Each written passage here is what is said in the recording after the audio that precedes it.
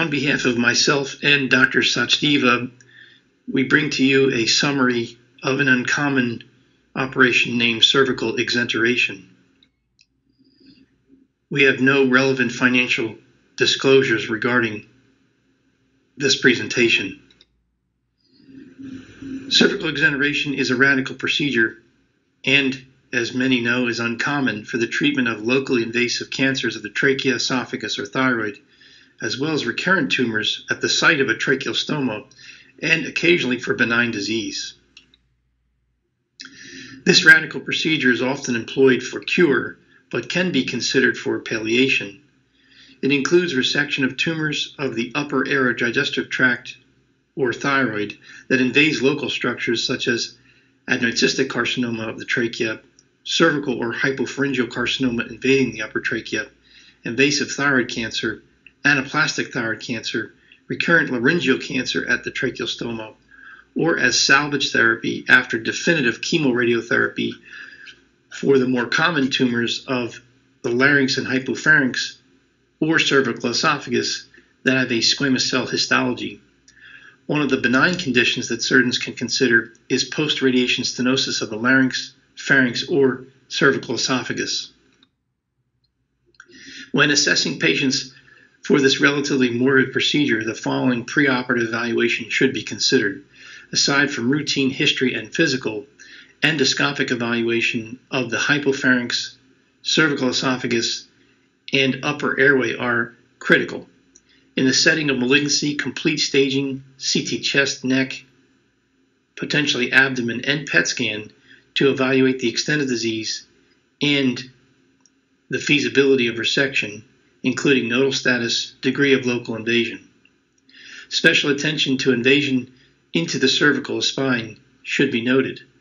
When considering reconstructive options, one would have to prepare for the possibility of colon interposition, which may include the need for colonoscopy, mesenteric angiogram to define the vascular anatomy. One more important consideration is confirming an intact circle of Willis if there is plan to divide the innominate artery. It goes without saying that a formal functional assessment in these patients is mandatory since this is a relatively morbid procedure. Patients must have preserved cardiopulmonary function to tolerate uh, the level of invasiveness a baseline neurologic exam is of critical importance since there may be a planned division of the innominate artery.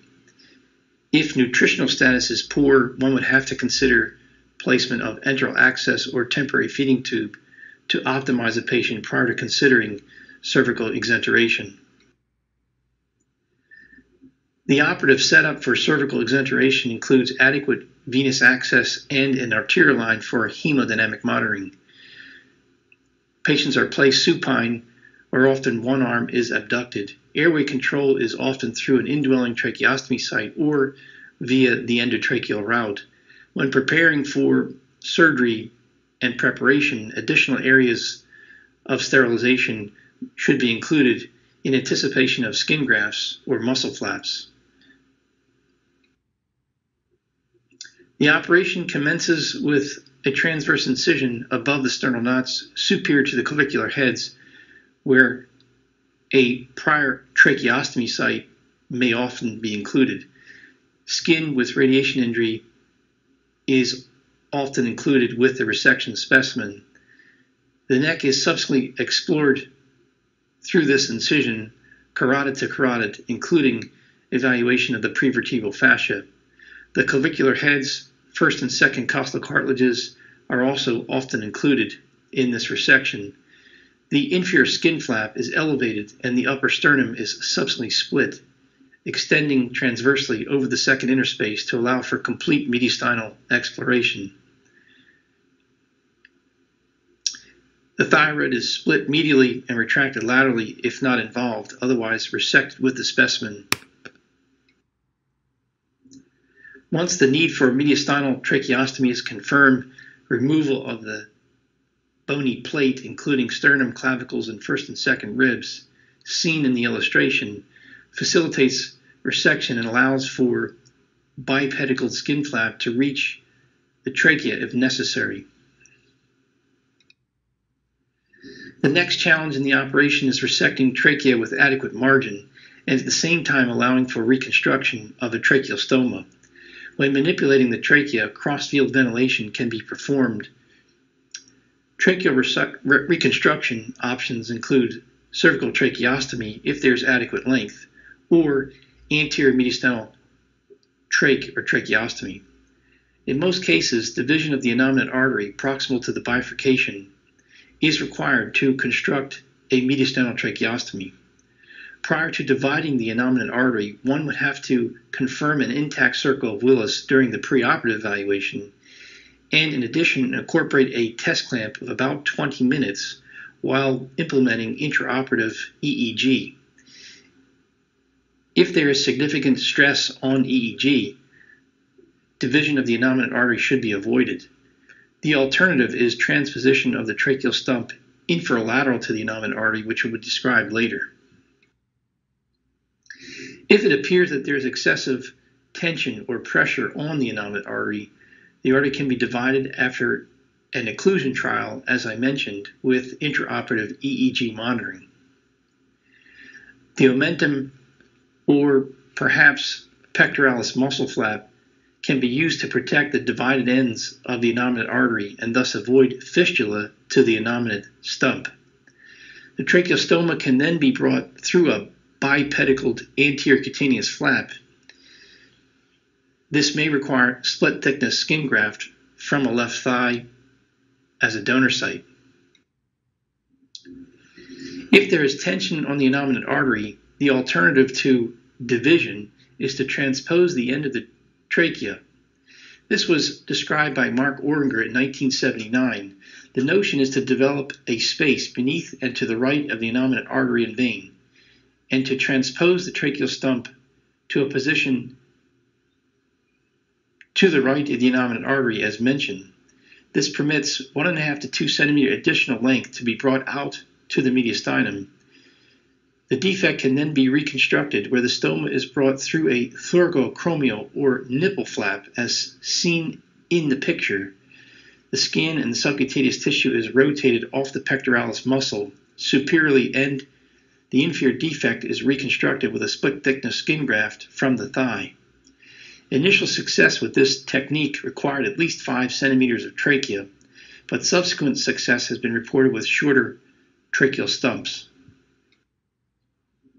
The second component of this cervical exenteration includes management of the hypopharynx and esophagus. If there is no involvement of the cervical esophagus, which is often not the case, then uh, it can be left intact. If there is minimal involvement of the cervical esophagus, a partial resection with primary repair may be achieved. If there is extensive involvement, one would have to consider partial esophagectomy with a reconstruction such as radial forearm free flap or jejunal free flap, or total esophagectomy with reconstructions that might include a gastric conduit pull up or colon interposition. As mentioned, reconstruction options for total esophagectomy include stomach or colon, segmental resection of the hypopharynx or cervical esophagus may be amenable to pedicled vascular flaps, including jejunum or radial forearm free flap, or even a uh, vascularized myocutaneous pectoralis flap.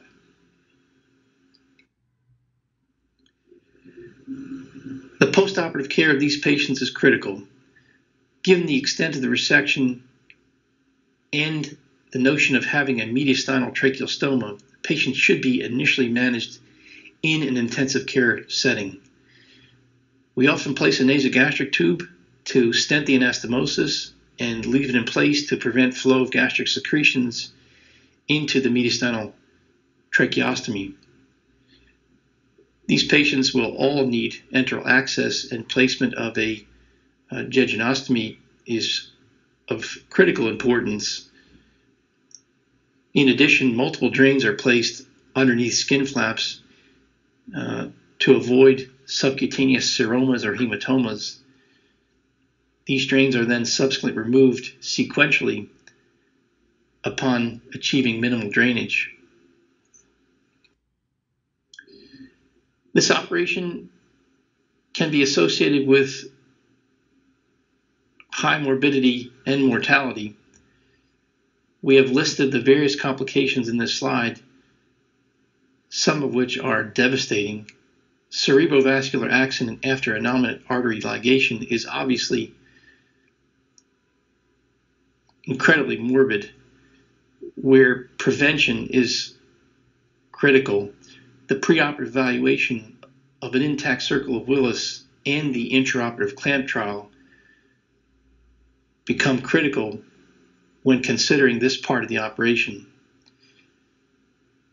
Since most of these patients have radiated fields, anastomotic leaks are relatively common, particularly from the pharyngeal anastomosis.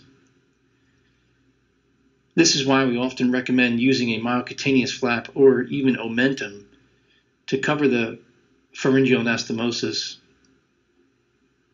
and provide vascularized tissue in case of a leak. Flap necrosis of reconstructed conduits is a major complication and requires debridement and removal of devascularized tissue. Hypothyroidism hypoparathyroidism can be followed rather easily with serum assays. A chyle leak uh, can be seen and if it's identified should be intervened upon rather quickly. The mortality in this operation can be as high as 18% morbidity marked by the complications in the previous slide can be seen in up to two thirds of patients. In patients who survive the initial postoperative insult, results are similar to total laryngectomy, where we can see good function with adequate oral intake the esophageal reconstructions can require dilations and rarely stenting. There are, is some need for revision of tracheostoma or dilation. The use of an electronic larynx or functional esophageal gastric speech is clearly a good option for these patients. Long term survival depends on the underlying neoplastic disease, where most are due to systemic recurrence of metastatic disease. Here we depict one of the novel developments in a reconstruction technique which includes a cryopreserved aortic homograft. This technique was published in the Annals of Otorhinolaryngology in 2012, where authors included Steven Zeitels and colleagues from the Massachusetts General Hospital. In the first panel, uh, one could see a partial esophagectomy specimen with a partial laryngectomy. In the third panel, the resected anterior esophagus is visible where you're looking into a luminal surface. And in the fourth panel, the aortic homograft is sewn as an onlay over a silastic tube to reconstruct the esophagus period. The results of this aortic homograft have been rather good, and we've used it for partial or segmental resections of the pharynx. This novel technique uh, can be considered for partial resections when uh, local tissue options or transfer of vascular pedicles are limited. This concludes the review of cervical exenteration, and we have listed a, a few selected references. Again, this operation is an uncommon operation, and teaching it to residents has become challenging.